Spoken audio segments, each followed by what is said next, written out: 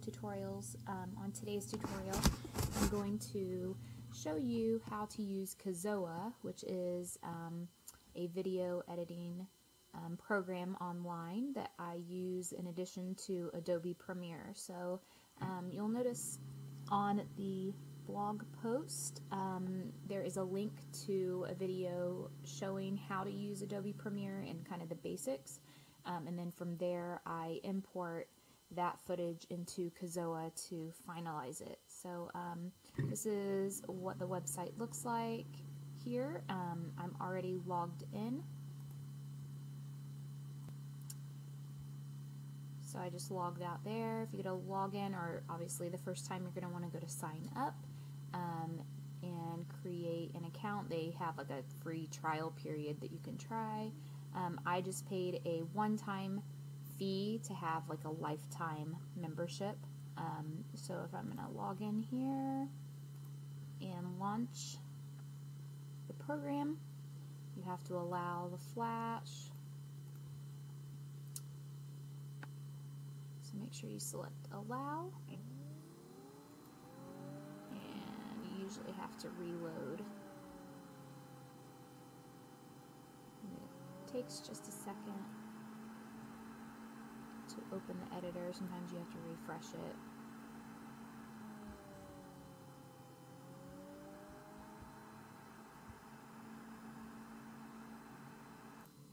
And this is what pops up at first. So um, you can choose a pre-made template or you can build something from scratch. Um, what I have done is I have created my own template that I use and um, I duplicate that template and change up a few things and it has become a much quicker way to make a video than editing in Adobe Premiere. So um, like I said, I usually do the um, the uh, initial steps, so like cutting out parts of a video that I don't want to use and piecing them together and speeding up the clip. Um, I do all that in Premiere and then I import that um, MP, MP4 file into Kizoa to add the intro and outro and um, any still shots. So let me just go to, let's click from scratch. Just by default, um, depending on the format. So if you were making a video that you wanted to play on Instagram, you might want to choose the one-to-one. -one. Um, for YouTube, you want to do 16 to 9. So, um, you can see here under my movies, these are different ones that I have created. And over here um, are kind of, um, but if you hover over it, it shows what the video is there. So, we don't need all that. Um, to start, I'm going to use what I have already created here, um, and I'm going to duplicate it. Um, if you wanted to start from scratch, you can do that or use one of their templates that they already have made. Um, but for the sake of this, I'm going to use um, this speed edit one that I already have, and I'm going to duplicate it. And um, I don't want to do any of these things right now. Now I have um, my copy here, and that was my Cinderella music, and I want to edit that new video. Um, this is my first clip, which is my intro that I use for all of my videos. And no, it doesn't look like that. It just takes it a second to load. Um, if you don't want to wait for it to load here, you can hit play and you can see it here.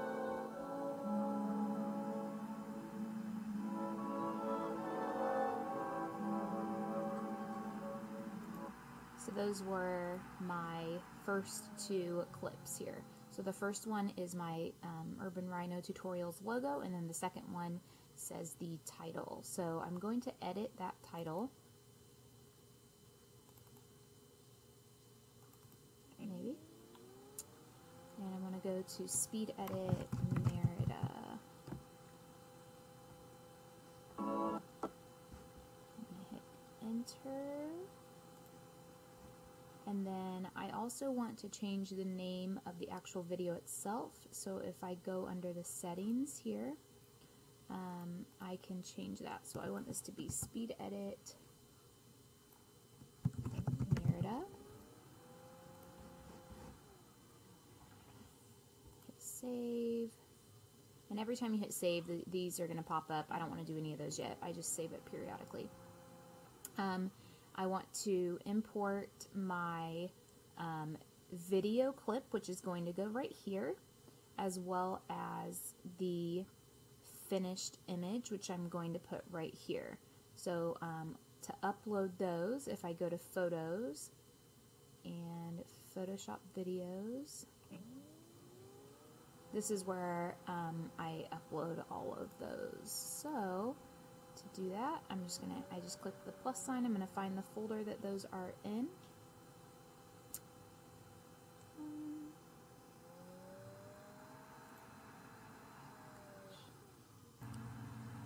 I'm gonna click my computer, find the folder, and um, to upload my video. Right here. I'm going to hit open and that generally takes a minute to upload. Um, and then I'm also going to upload the still photo as well. So let me pull up that one.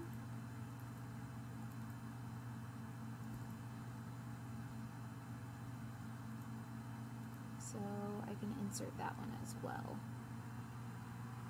and I'm going to let these load. Um, cut forward so you guys... Okay, now that the video clip and um, image are uploaded, I'm going to drop them into the place where I want them to go.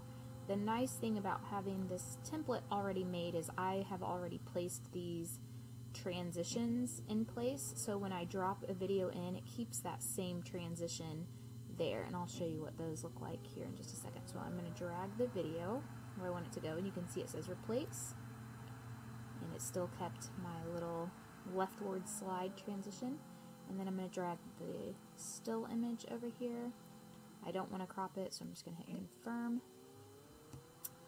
Um, and if I actually, um, that picture let me see if I can pull it up here. There we go.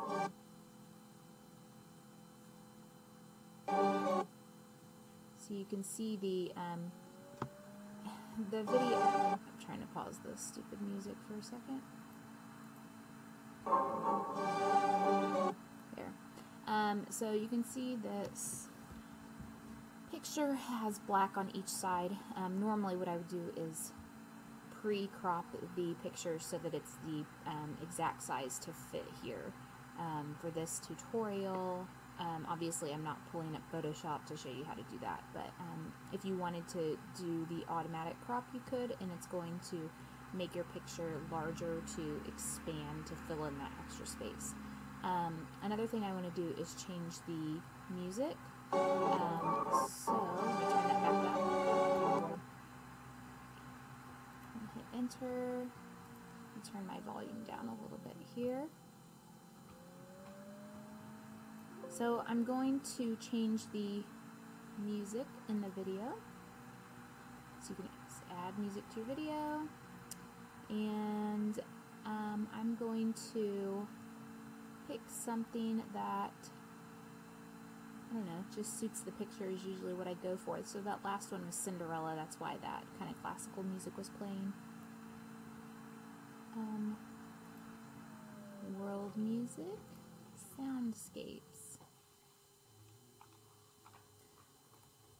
So I usually just kind of go through them. You have to kind of double click on them. I like that music, it just doesn't fit.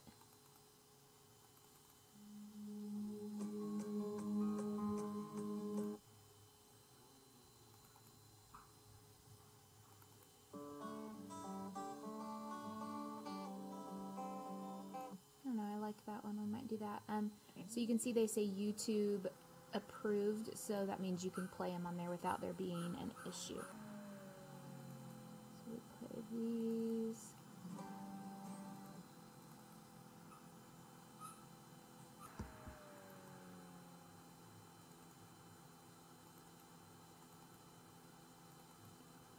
It's the only downfall of this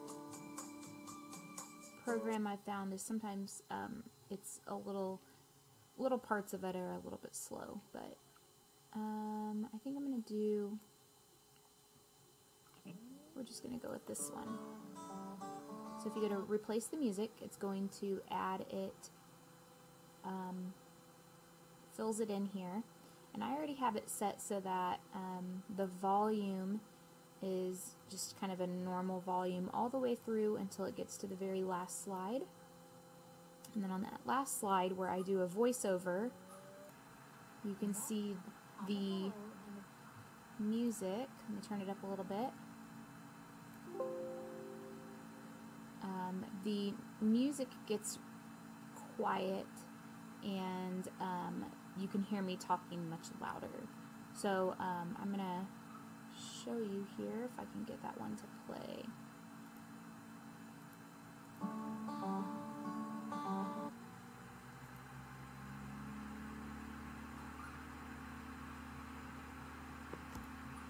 Or see, this is what I'm talking about. Sometimes it's a little slow in this part.